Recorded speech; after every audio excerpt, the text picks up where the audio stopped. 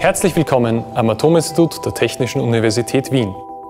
Das Atominstitut ist das größte von vier Instituten des Fachbereichs Technische Physik und befindet sich in der Außenstelle im zweiten Wiener Gemeindebezirk in der Nähe des Praters.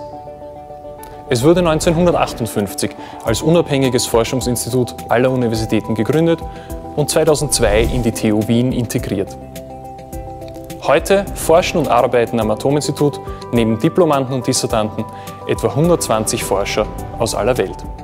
Wir sind besonders stolz auf unseren Forschungsreaktor, der heute der einzige Reaktor der Republik Österreich ist.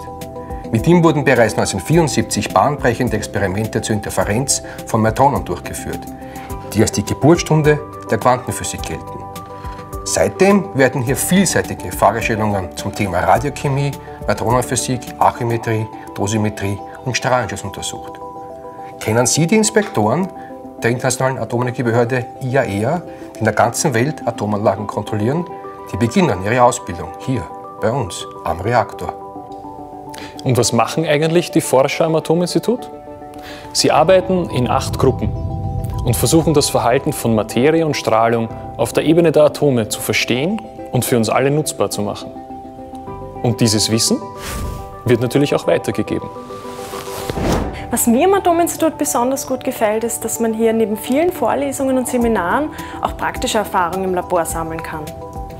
Das hat mir auch schon während meines Studiums die Möglichkeit gegeben, hier in eine tolle Forschungsgruppe einzusteigen. Und diese Begeisterung für Physik versucht das Atominstitut auch in der nächsten Forschergeneration zu wecken. Mehr als 100 Schulklassen und interessierte Besucher kommen jedes Jahr zum Atominstitut, um für ein paar Stunden den Forschern auf die Finger zu schauen.